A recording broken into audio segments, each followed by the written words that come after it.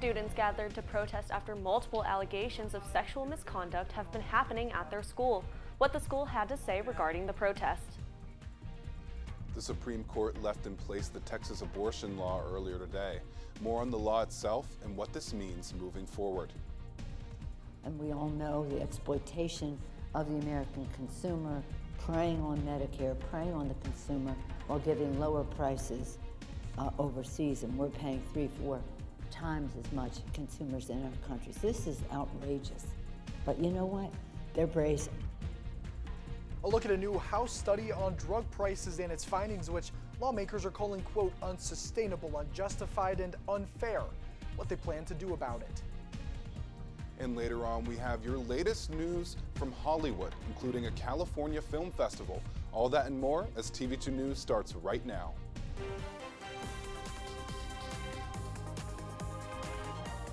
This is TV2 News.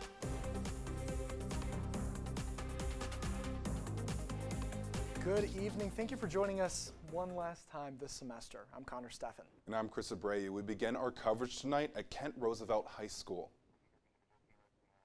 Students staged a walkout Friday in protest of what they say is years of mishandled sexual assault allegations by school officials. Kelsey Drennen was at the protest. She joins us now with what the students are alleging and the district's response. Connor, Chris, this afternoon many students gathered to show the faculty at Theodore Roosevelt High School that these allegations need to be taken seriously. Let's take a look.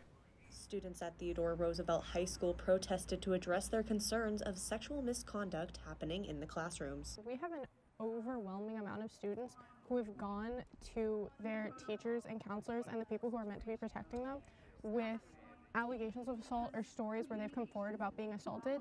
While multiple students came out to show their support, many were supporting from the inside, afraid to face the repercussions from the school.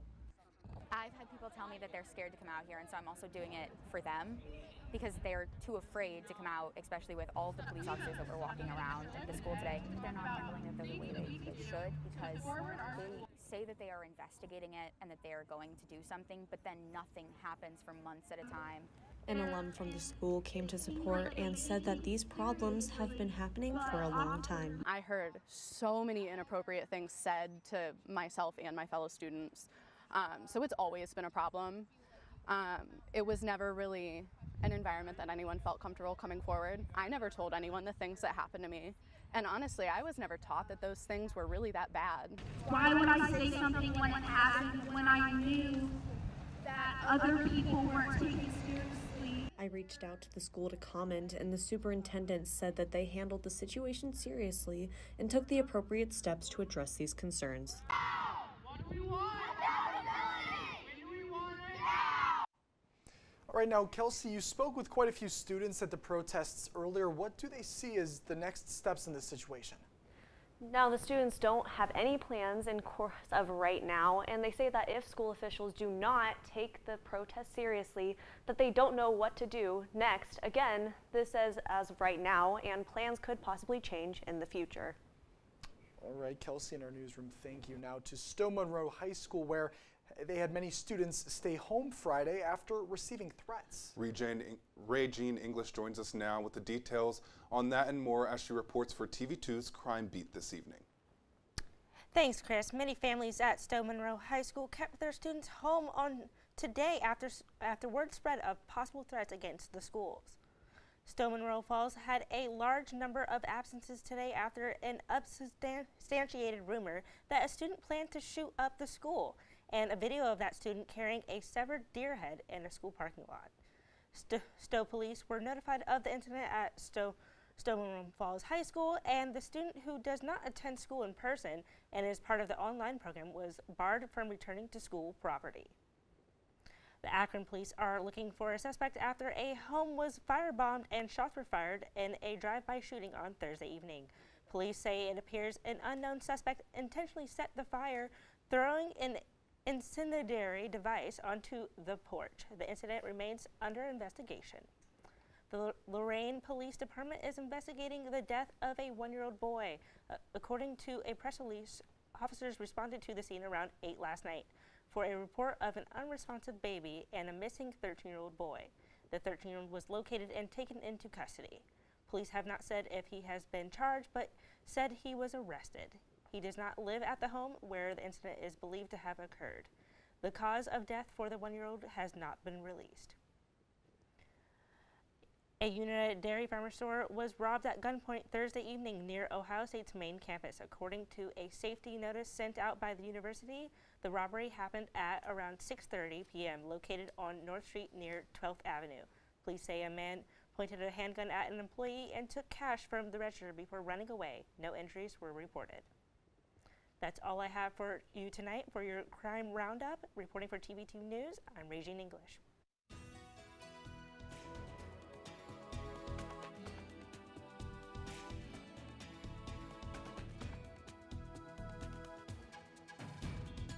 Hello, all of Portage County and Northeast Ohio. I'm TV2 weather anchor Odin Amador Gorby with your evening weather forecast. As you can clearly see right now, currently in Kent is 49 degrees. Feels like 55 out there right now. Um, dew point at 41. Humidity around 58%. It is definitely a cloudy night out there, but it's nice and warm though. Right now, 48 in Kent, 52 Cleveland, 46 in Sandusky, 54 in Mansfield right now across our state. And your hourly forecast, as you can clearly see here, 50 degrees tonight towards uh, 7 p.m., midnight 53, and 6 a.m. tomorrow morning 30 degrees with clear skies. Rain at midnight and cloudy at 6, 7 p.m. Excuse me. That is all I have for right now. Please stay tuned for my full forecast where we will be talking about some hectic weather for next week. Thank you, Odin. Stephen Gardner, the president of Amtrak, announced new expansions to the railways could be placed in Ohio, including Cleveland, Cincinnati, Dayton, and Columbus. This comes after the Build Back Better infrastructure plan was signed into law last month. Amtrak will receive $66 billion to repair and expand its fleet of trains. Gardner says in order to make these expansions happen, Amtrak will need buy-in from height or freight companies.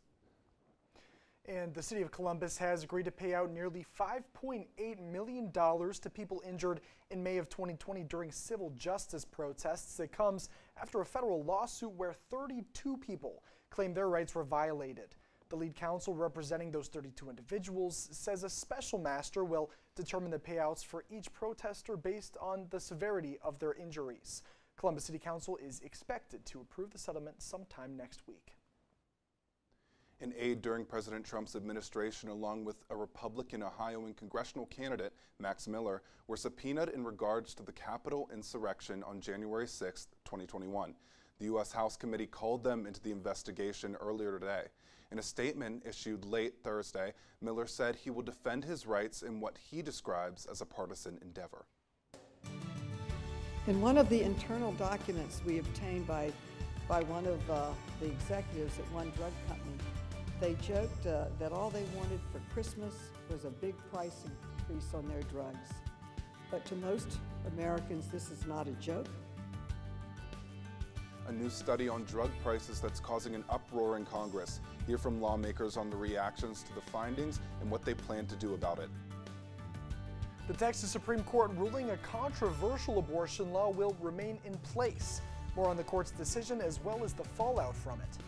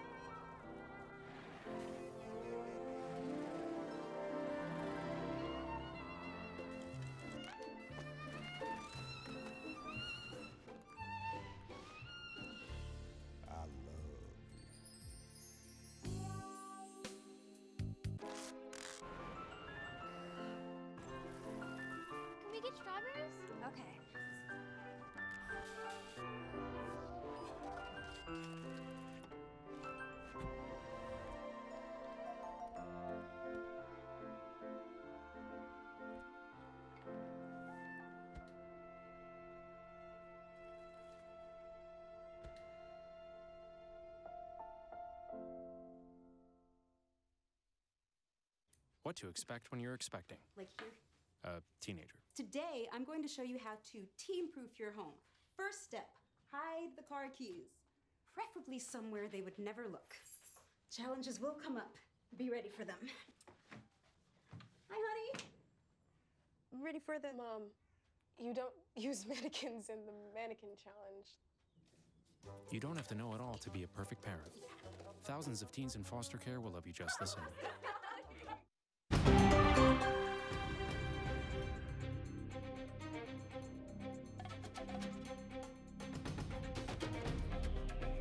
From local COVID numbers to the latest on the new Omicron variant. Anthony Furiga joins us with Friday's COVID Health Minute. Thanks, guys. Ohio is seeing another rise in COVID cases. The Cleveland Clinic reported hospitalizations have doubled since November 1st, and about 80% of those who are hospitalized are not vaccinated. And with the increase of hospitalizations, emergency services are being overworked. Portage County is suffering our Portage County is also experiencing an increase in COVID cases. This seven day new case average for this week is 126, more than the same week last year. Only 298 hospitalizations and 38 deaths have been reported since October 1st. The Portage County Health District is still offering vaccination clinics at its NeoMed Center on Tuesdays for adults and Wednesdays for children. The Omicron variant has now been detected in 25 states. Midwestern states are being hit harder with hospitalizations, especially Michigan and Ohio. The CDC reported that almost 2 million COVID cases vaccinations were administered this week, with half of them being boosters. And the FDA authorized emergency use of Pfizer boosters for those who are 16 and 17. Five colleges have put in place COVID 19 booster requirements for their students. These colleges include the University of Notre Dame, Syracuse University, Northeastern University, Smith College, and the University of Massachusetts at Amherst. Kent has not made a booster requirement for its students, but we will keep you updated if policies change. That's all I have. That's all the COVID news I have for you. Please stay safe if you are traveling for the holidays. Reporting for TV2 News, I'm Anthony Furiga.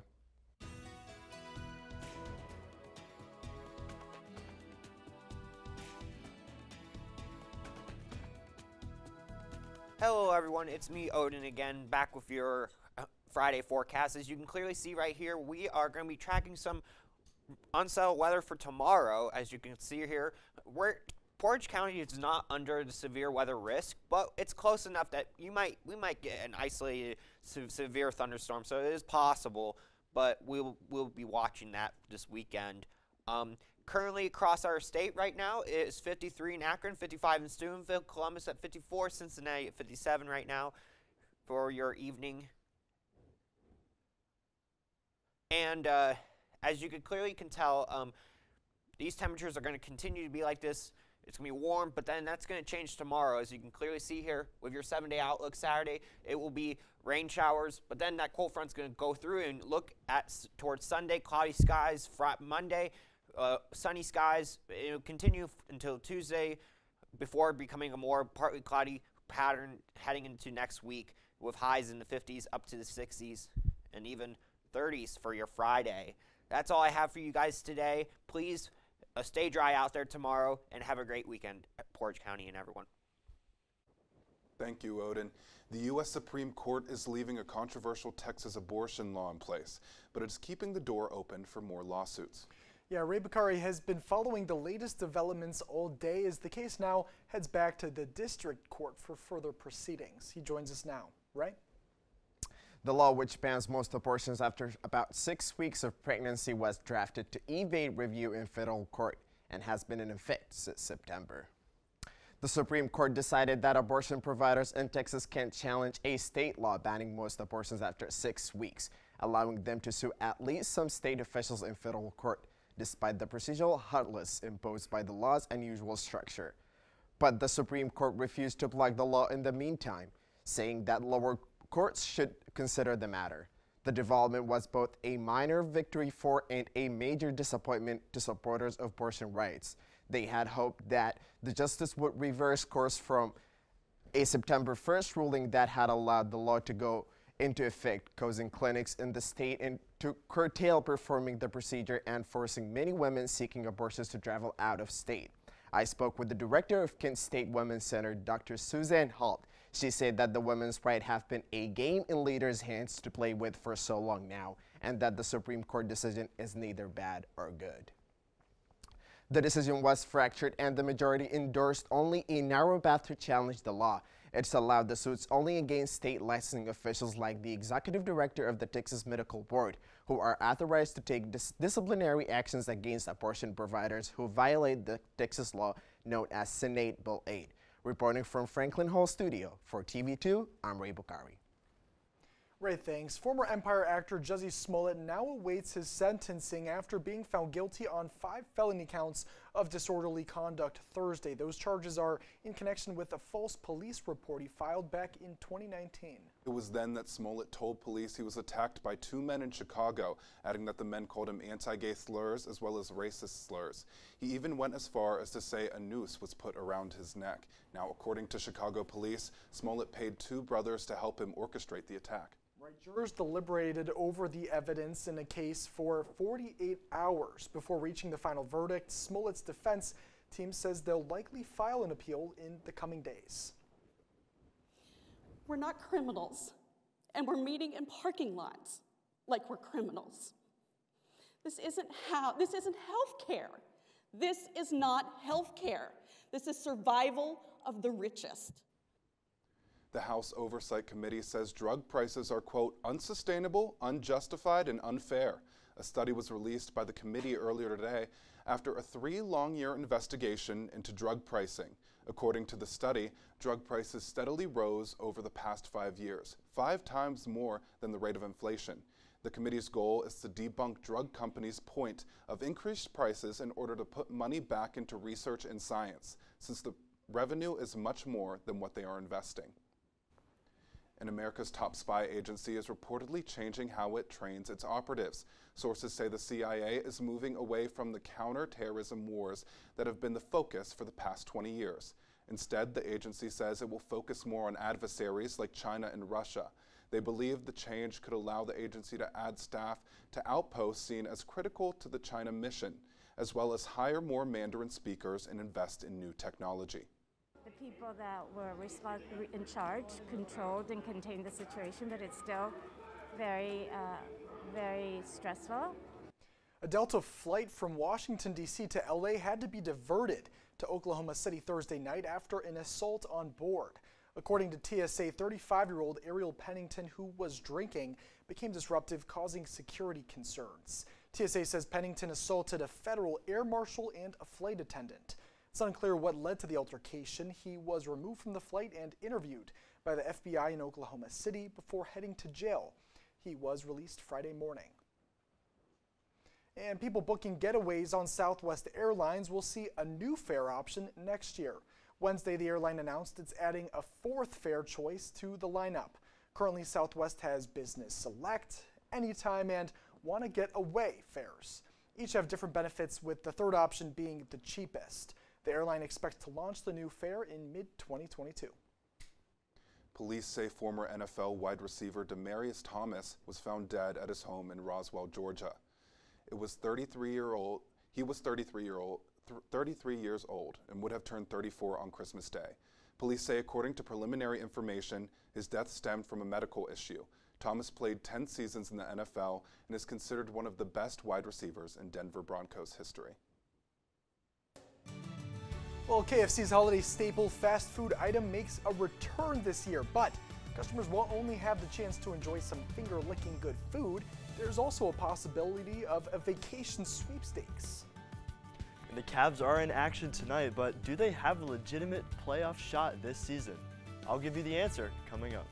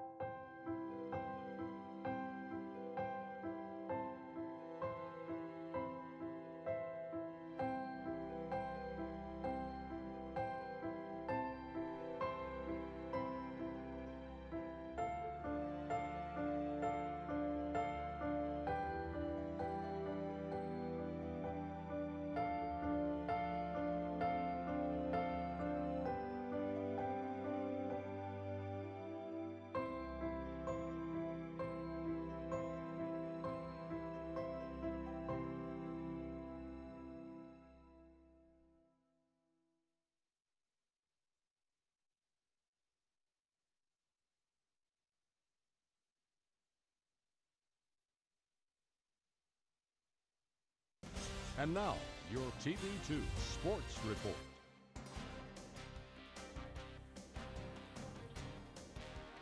What's up, Portage County? I'm Ryan Shanko with your Friday Night TV2 Sports Report. And we're going to start in the NBA with one of the more surprising storylines of this young season, namely the success of the Cleveland Cavaliers. Expectations for this team were virtually non existent coming into the year. I know that we're absolutely sure. Cavs Nation was ready for some more post LeBron losing and question marks as to what to do with the team going forward.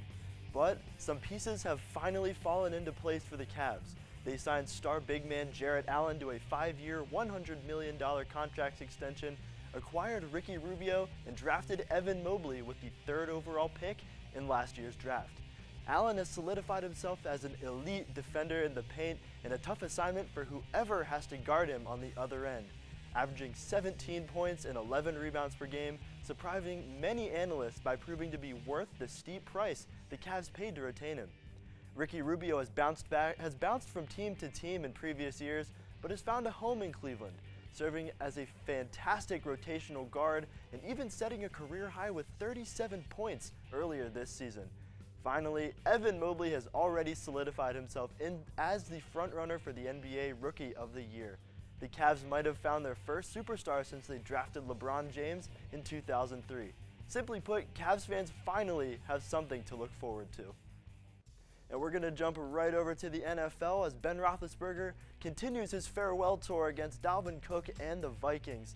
And the Steelers saw a lot of Cook early and often as he punched in that first of two touchdowns from 29 yards, and then this one on third and one from six yards out, giving the Vikings a 23 to nothing lead at the half. And I know we've all heard jokes about Ben Roethlisberger's arm strength, but he put that one right on the money to James Washington, cutting the lead from 29 all the way down to 8 at one point. And then we see a final effort from the Steelers, a chance to tie the game, but the pass falls incomplete. Vikings survive and win this one 36 to 28. And that's going to do it for me tonight. Have a safe and Merry Christmas. And as, and as always, thank you for rocking with me on TV2 Sports. What you have to look forward to on National Lager Day. We got all you need to know, so sit back, relax, and pop a cold one, because we will see you back here after the break.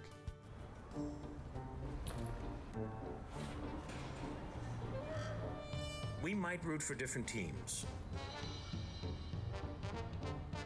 but we all respect the game. And we can all root for each other when we wear a mask.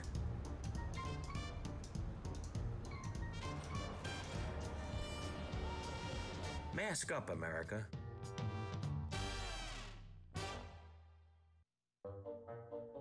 They call me Prince like I'm royalty or something. But the places I've lived ain't no palaces. So I don't need grilled salmon or a new scratching post. Just give me a cardboard box and a can of tuna and we're good. You can even change my name. I'm cool being the kitty formerly known as Prince.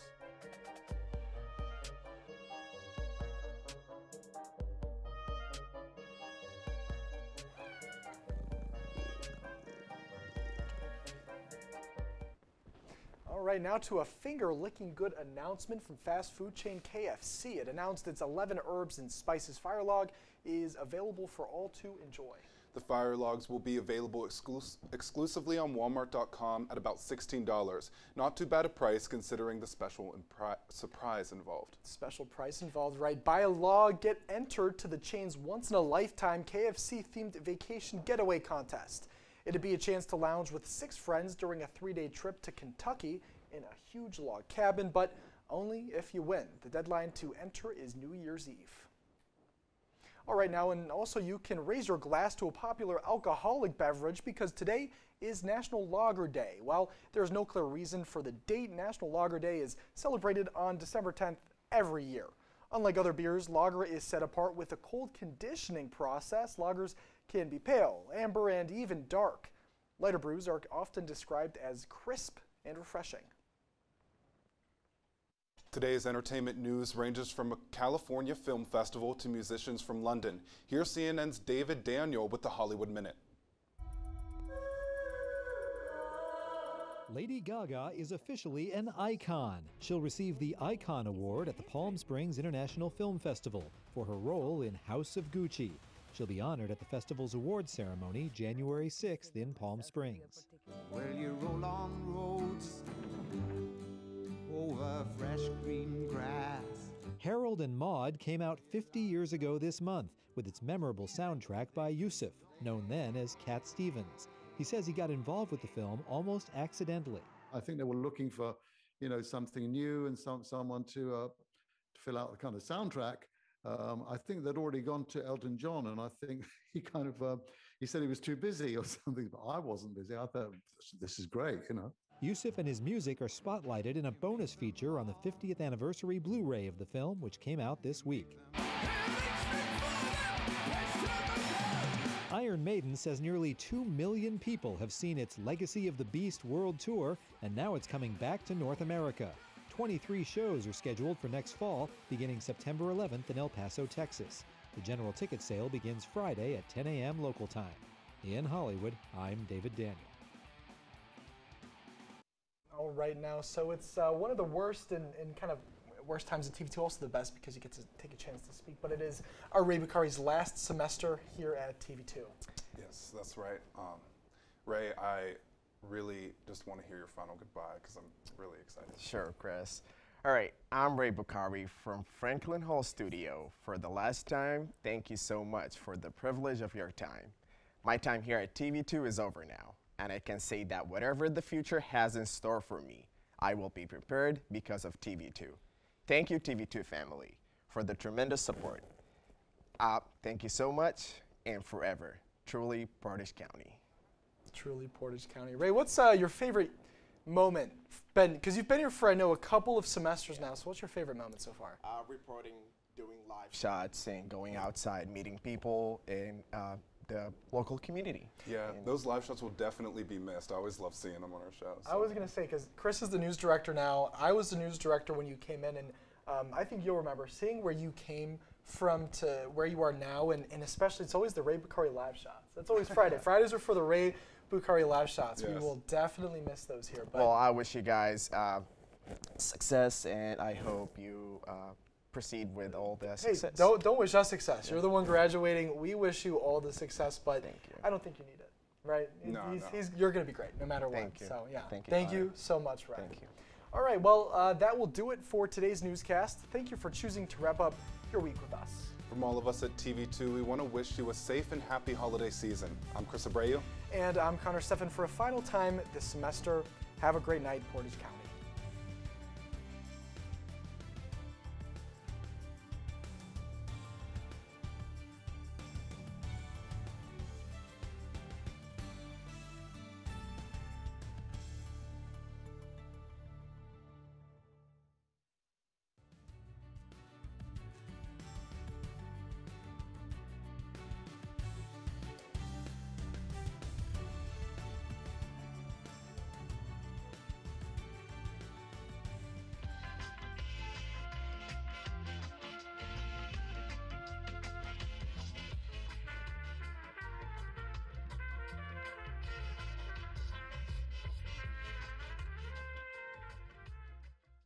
Once there was a boy who did the same thing again and again. One day, he was told he had autism. He got help and slowly learned how to live with it better. Early intervention can make a lifetime of difference. Learn the signs at autismspeaks.org. Julie was always a, a voracious reader. She'd carry two novels on an airplane because she'd read one on a three, four hour ride. And at some point, I began to notice that she would read a page and couldn't remember what she had just read, and she'd have to go back and read it again. I don't remember much these days after I read, but less does for me and I love it.